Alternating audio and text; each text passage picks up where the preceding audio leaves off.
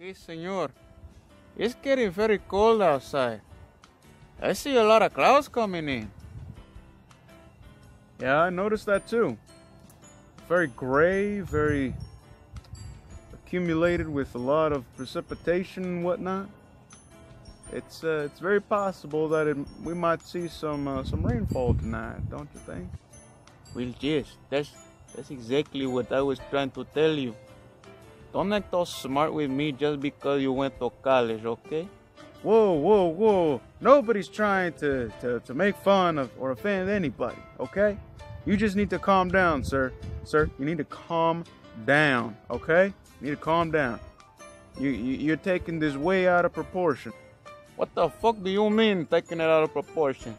You know what? You're lucky that I am that I am I, I, I am here right now in a calm, collected mood. Because if I wasn't, I would so fucking kick your ass right now. I would do it. Are we gonna have a problem here, buddy?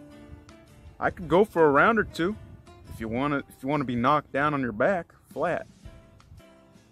Well, I will tell you the same thing that I told every other person who's ever wanted to to challenge me and to bring me down in some way or another. I'm going to fuck you up, puto. Wait, wait. Maybe this isn't the right way to do things. Yeah, I did not want it to come to this. You were the one that was starting this. I'm just e- examining the weather, okay? Okay?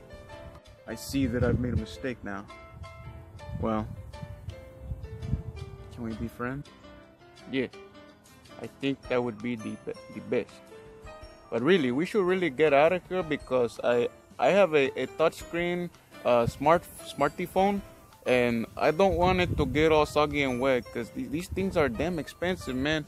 It's, it's, it's not easy to get another one, man. It takes like half of like two paychecks to get one. Okay, so let's just get out of here. Let's go get some tacos or something. That's cool, man. Hey, where do you want to go? Taco Bell? I'm about to kick your ass for real this time.